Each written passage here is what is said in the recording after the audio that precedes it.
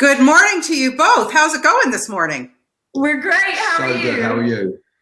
I'm great. I'm great. I'm coming to you from Toronto, Canada. So uh, thank you for this, I don't know, kind of anti Valentine's Day type of film, I guess. I don't know. It's really a lot of fun.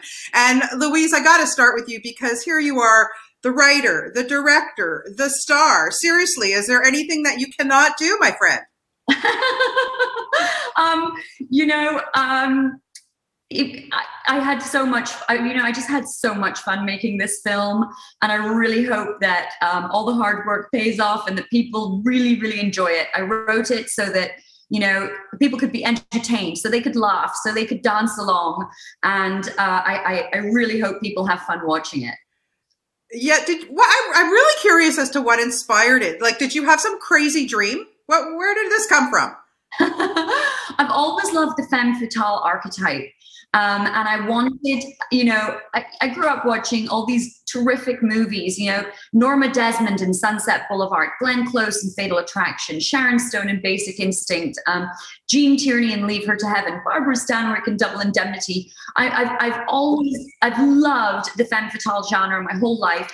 And I've also loved, you know, just cinema in general. And this movie is a movie that pokes fun at other movies. Uh, there's a lot of de- very deliberate movie tropes in the film and um, a lot of buried treasure for, for film buffs. Yes, yes, there's a lot of that. Now, Ed, I got to ask you. I mean, this is a little different from what we've seen you do before. So that had to have been a big attraction. But I I have to know, what was your initial reaction when you started to read this script?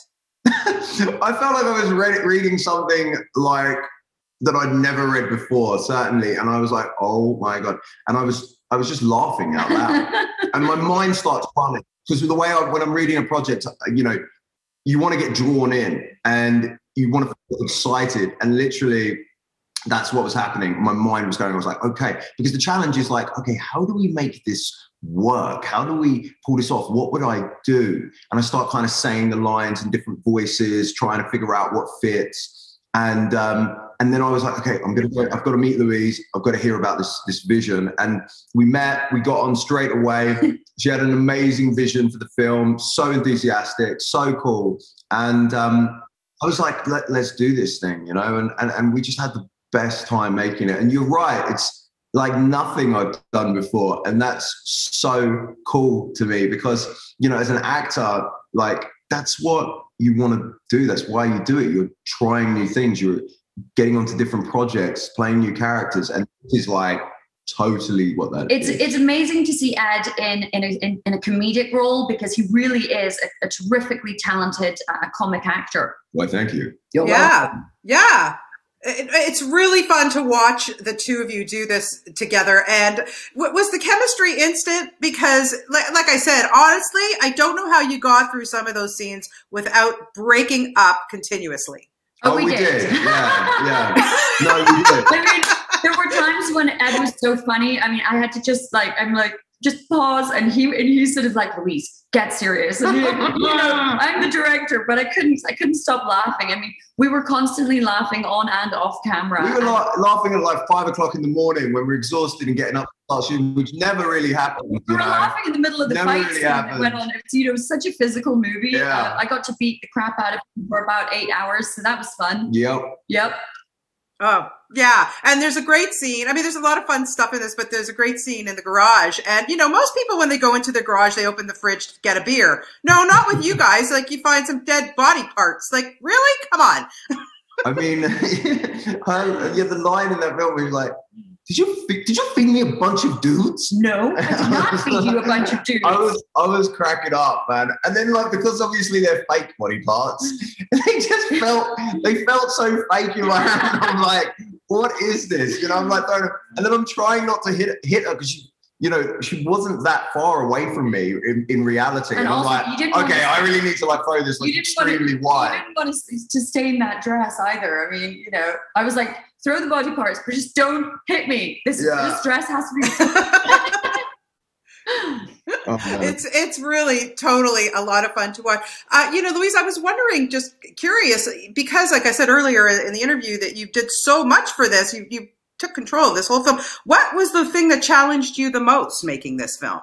I'd say, you know, being a first time director, um, it was very challenging and I had to learn about, you know, a lot of the technical aspects of filmmaking, lenses, cameras, um, and I learned to do shot lists and storyboard, and um, I worked hand in hand with my uh, cinematographer um, on all of the lighting and um, you know d- directing and also being that character was challenging because i'm you know i have long um, complicated monologues and i'm in you know sky high stilettos and these tight dresses and i'm running from being on, on, you know running around the set moving lighting equipment moving sandbags and then also going back to video village to make sure i was enjoying what i was seeing on the screen and then running back into the scene again. It was um, very challenging I mean, yeah you've got to respect that you know because i was thinking if i was writing a script for me or i was like i'm going to be like okay i'm going to write my character he doesn't really say a lot so i don't have a lot of lines to learn. I'm probably going to take the you know the easy seat but Louise is like it's a testimony to her character, to who she is as a person, like hungry and driven, and you know you got to respect that. I mean, I mean, she was so dedicated on this film and and, and did it all. So hats off. Yeah, yeah, hats off. Exactly. Now, uh, before I wrap up, Ed, I've, I've got to ask you this. I know you've probably been asked a gazillion times, but you know, look, we all we all know you from Gossip Girl. You were so so good on that, and I and now that everybody's been in lockdown, there's so many new people, you know, finding this show and streaming it and, and watching. How did a show like that change your life?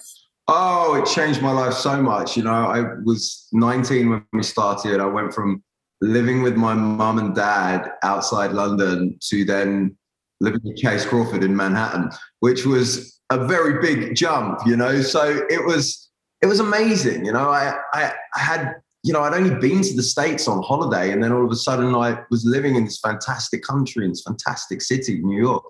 We just had the, I just had the most amazing time. This movie, like I said, is a lot of fun. So congratulations on this, and I hope you guys have a wonderful weekend. Take Thank care. You.